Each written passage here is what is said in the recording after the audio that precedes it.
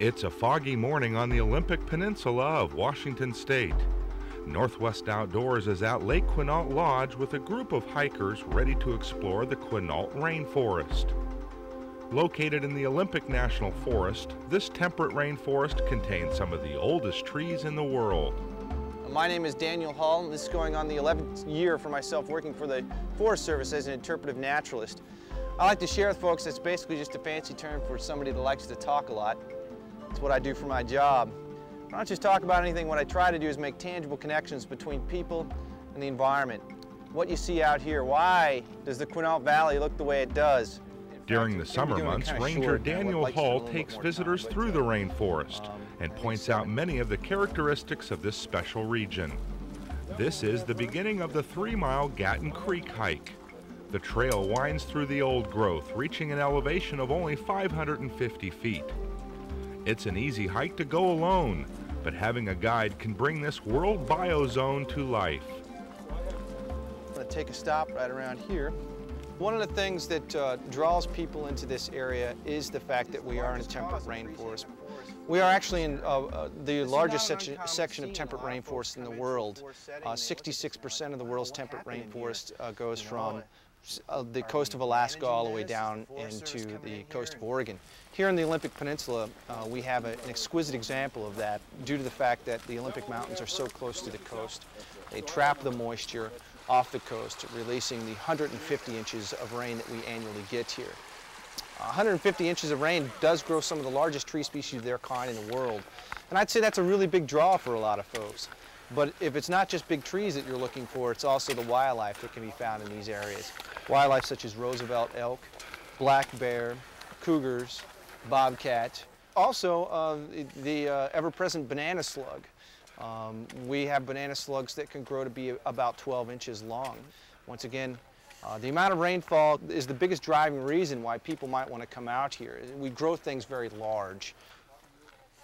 These trees right here, uh, about 80 years of age, um, tend to be sort of like adolescent, uh, adolescent trees due to the fact that uh, they're really screaming for the canopy. A lot of competition happening right here. No regards for what's really going to happen to them. Uh, they're spending all their energy shooting up into the forest uh, canopy there, and in some cases not rooting themselves down uh, properly. Therefore, you're getting this selection process. It's not uncommon for 70 mile an hour winds to come through this forest, and in this 70 mile an hour winds, if you don't anchor yourself properly, you become a piece of down dead woody material. One of the faces that people can associate with a temperate rainforest uh, is a face next to water. Uh, it has to be a face that looks like this one back here. Um, what you're looking at back here is a big leaf maple, and it is covered in epiphytic moss. Ooh, that's a fancy word, isn't it? Epiphytic? Epiphytic, yes. All the moss that you see kind of clinging onto this tree here isn't really taking anything from the tree. One of the most common questions I get asked as a naturalist happens to be is, is the moss hurting that tree? And I have to appropriately say, well, no, actually it's not. It's just kind of hanging out there. Epiphytes, once again. A plant that grows on another plant but does not take anything from the host. Towering fir and cedar trees are giants looking down at visitors. This nature walk is one of many trails that snake through this area. Most are just a few miles long, allowing hikers to get up close and personal with the unique features of a rainforest. We have uh, our recreational loop trail system is about uh, 10 to 13 miles actually of trail that is relatively accessible uh, in several different loops. The prime destination for folks coming out here, staying at Lake Quinault Lodge or one of our several campgrounds is, is hiking our recreational loop trail system and perhaps actually maybe even catching an interpretive hike with a naturalist such as myself. We do have 16 trailheads here in the Quinault Valley, uh, uh, going from the National Forest into the National Park. We have uh, trails that go up to large old-growth cedar trees, uh, one off our recreational loop trail system. And there's uh, another cedar tree on the other side of the lake that actually happens to be a world contender. It's a quarter-mile trail. It's in the National Park that goes up to one of the world's largest western red cedar trees. It's uh, over 13, 1400 years old. We will be right back with more from the Quinault Rainforest on the Olympic Peninsula. Plus, a look at the historic Lake Quinault Lodge. Construction took 53 days. They worked by um, bonfire every night um, to try to beat the rainy season. They opened August 18th. First, here's a way to enjoy the outdoors with this tip for better nature awareness from survival instructor Frank Sherwood. Would you like to see more animals out in the woods? Would you like to hear more birds out there? Here's a few tips in nature awareness to help you enjoy the great outdoors. Here's the first tip I'd like to show you. It's called the fox walk. It slows us down and quiets our walk down. What I want to do is take the outside of our foot and just gently lay it down on the side there. We lay it down on the edge, lightly roll it in as we walk. This slows us down and this quiets our walk down so we can see more animals while we go out there.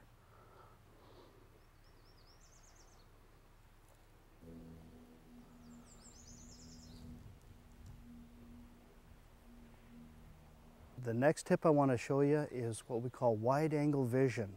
And what that does is opens our vision to taking in the whole picture. Instead of focusing on one thing, we can use our fingertips to test us. We bring our hands out to our sides and wiggle our fingertips. And when we can see our fingertips moving at the sides, we're taking in the whole picture, not focusing on one thing. Our side vision, our, our peripheral vision is great for picking up movement. And when we see that movement, is what we can do is then look over and check it out and focus in on it and tell what it is. And then we can go back to, okay, that was a bird. Then we can go back to our wide angle and continue fox walking till we see something else in our wide angle vision and look over at it. Okay, that's a rabbit in the brush moving. Come back over and that's how you want to see out in the woods. Use wide angle vision all the time while you're out there.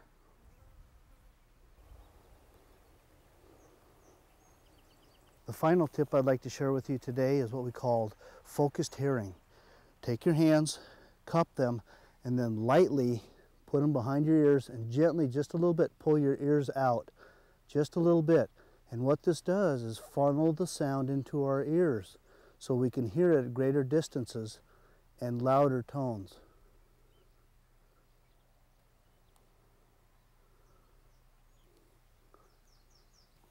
So remember these three tips that I've told you about. Fox walking, wide angle vision, and focused hearing. If you can learn those three tips and practice them, they'll enhance your outdoor experience immensely.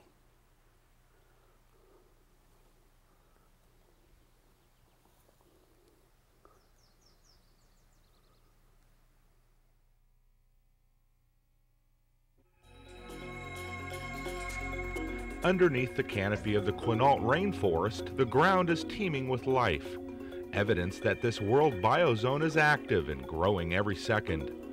Guide Daniel Hall and his hiking group are halfway through their three mile Gatton Creek adventure. This is a really good place to, I guess, just kind of mention uh, the shallow root systems that we have here in this forest. As you can see here uh, on a tree, these roots don't go any more than about a foot or so into the ground.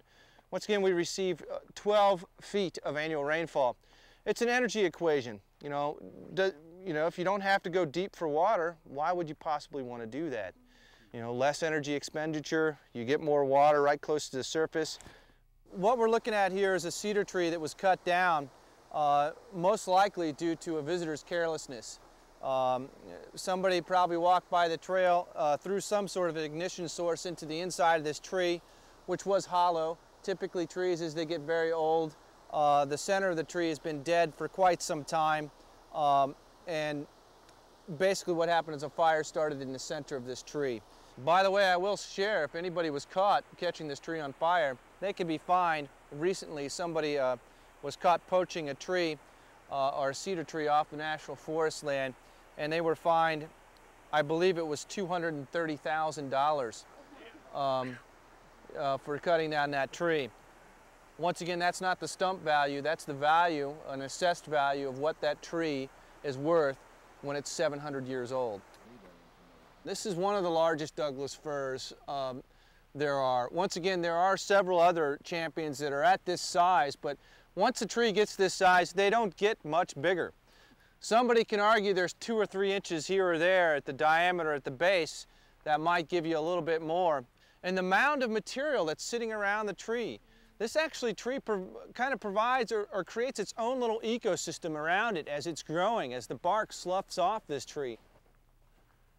Basically, people are amazed with the size of the trees that we have here. Once again, we have several world contending trees.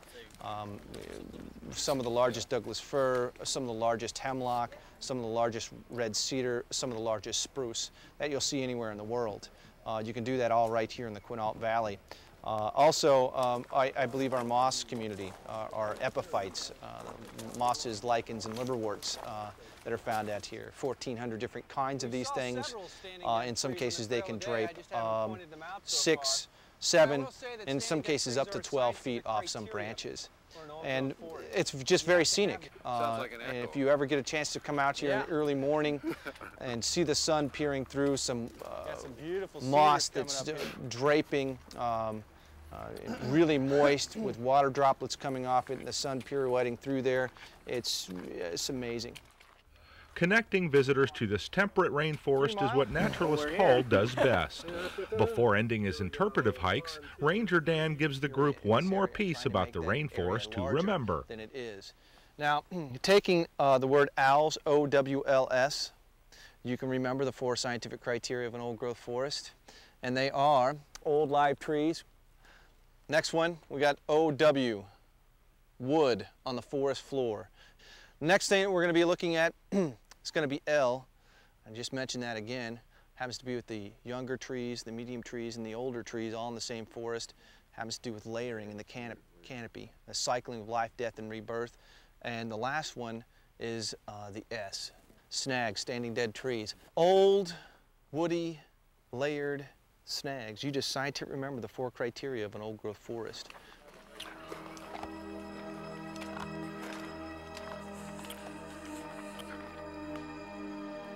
There's a lot to learn about the rainforest on these short two and a half hour hikes. When the hike does wind down, most hikers aren't too sore from the miles put in. They are sore though from the rubbernecking of the wonders above. The Quinault Valley is part of a complex of rainforests on the Olympic Peninsula. The Hoh, the Queets, and the Quinault rainforests attract millions of visitors a year. Nearby is the pristine Lake Quinault. This body of water supports plenty of fishing for steelhead, rainbow trout, and salmon. With a 25 mile loop road around the lake, plenty of access makes it ideal for boating and sightseeing as well. One of the lodges that cater to visitors in this area is the historic Lake Quinault Lodge. Whether staying here or stopping by, the history of this lodge is evident creating a perfect fit in this lush valley. They started construction in June of 1926. Um, construction took 53 days. They worked by um, bonfire every night um, to try to beat the rainy season. They did it by incorporating 45 local craftsmen from the Pacific Northwest. And this area here was slated for a national park back in uh, 1933. Uh, Franklin Roosevelt came out here in 1937 um, in order to view the area and shortly thereafter um, th this was designated as a national park. Before sitting down for a boiled Chinook salmon lunch that October day in 1937, Roosevelt was quoted as saying, This is one of the most beautiful settings I've ever seen.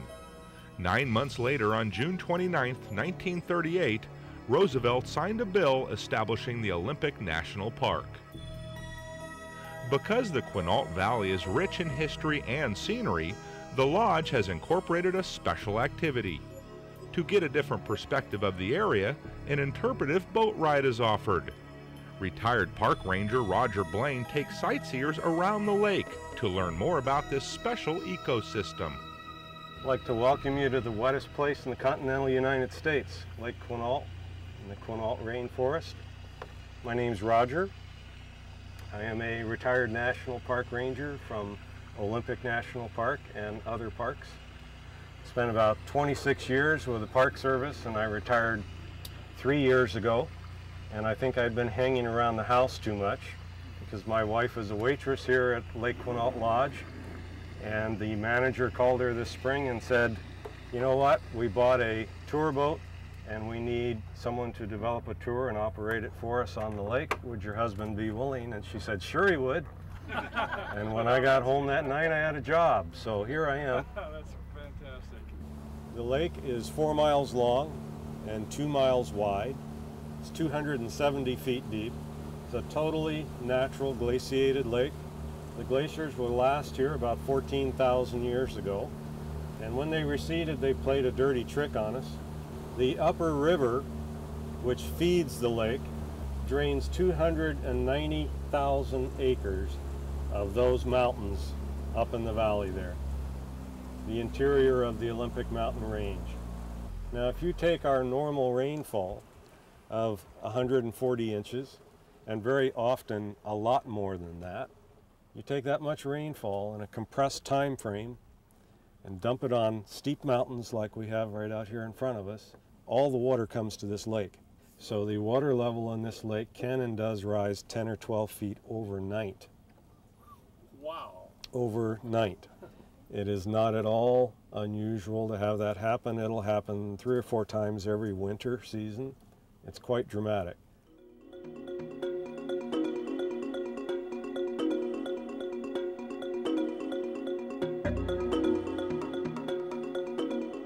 One of our active bald eagle nest is right straight ahead in that large tree with the nest about six feet from the top of it. Uh, the children, the kids, have flown the coop, so to speak, and there goes Dad over there off to the left, flying around by that dead tree. The incredible diversity of the water, forest, and wildlife makes this one of the gems of the Pacific Northwest. Few get to enjoy it and appreciate its value like the people that work here. To me, the, the value of this area is in the incredible diversity in Olympic National Park and Olympic National Forest. Between the two, just in this valley, we have about a million and a half acres of federally designated wilderness area. In the national park here, we have 60 glaciers in the upper elevation of the interior of the Olympics here. We have wild rivers and streams, migrating salmon in the fall and winter of the year. We have the Roosevelt elk. The bull elk can reach up to a thousand pounds and they are the primary reason that Olympic National Park was created in 1938 to protect the Roosevelt elk. The world's largest Sitka spruce tree is right off of the bow. With a rainforest walk and an interpretive ride on the lake, the ecosystems of the Quinault Valley are easy to appreciate. One thing you won't want to forget when visiting this area is a camera. Now here is a great tasting recipe for the outdoors from Northwest Outdoors fishing host Hobart Mans, apple quesadillas. We're here in the elk camp in the center of the Gifford Pinchot National Forest and we're going to do another camp dessert or camp pastry. It's one of those little things that don't take a lot of time. They are very, very tasty and you could put it in your pocket and take it out in the woods with you when you hunt. So what we're going to do is finish peeling this apple that I started here before you showed up. We're going to slice off the uh, chunks here so we get away from the seeds into this bunch that I've already cored ahead. We're going to take a taco shell and put it in a skillet. I'm going to put the skillet on the heat here for just a second. Get some heat underneath there. I've got some butter in there I want to melt. And I want to get this taco shell coated on both sides with the butter. I'm going to put it back in the um, heat over here, get a lifter. As it bubbles up in that butter, we're going to put it in the uh, skillet as a flour tortilla with the butter. Now you see it's starting to bubble up or get a little crust to it. And this whole recipe moves quite rapidly, kind of a quesadilla type thing. We're going to turn that over in the butter.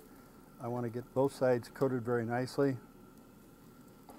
Get over there. There they go. They're bubbling up. Now to that, we're going to take some of the apples that we have pre-sliced, and I want to slice enough apples thinly to cover the face of half of that shell. Kind of have to move quickly here so that we don't have too much heat and too much problems. Probably need another piece of apple, one about that size ought to do it. We get that sliced in here. And to that, we're going to add cinnamon, and we're going to add brown sugar. We're going to fold that edge over Put that down, get the apple spread about. Brown sugar is right here. We're going to add about a spoonful. Sprinkle some of that brown so we get it on all sides of it. Add a little cinnamon for flavor. Get my spatula lifter. Take and fold that shell over in half. Those apples will cook and that's going to make a pastry. And it's an easy thing to do with, in camp with apples. Again, you're dealing with a situation where nothing spoils, the apples won't spoil, the tortilla shells won't spoil, the spices don't spoil, so you can keep it for a long time and cook them in camp anytime you want to. If you want to, really want to, you can turn around and make some fried apples and serve it on top of these, even to make it just a little bit better. This one is probably almost done. We're going to take it out, add it with the other one. There's another apple quesadilla for elk camp. Finished perfectly, tasty, easy to make. Learn more about this show, number 1608, by going online to northwestoutdoors.org. Set the hook! Fish on! He's on the surface, coming to the boat. On the next Northwest Outdoors, there's plenty of excitement in Canada while fishing for Chinook and silver salmon at Nootka Island Lodge on Vancouver Island. Here comes. Nice silver one too, eh? Right, oh, he's a hog. Look at that, eh? Ooh, he's a beaut. Easy. I can't see him in the bloody sunlight. Come on out.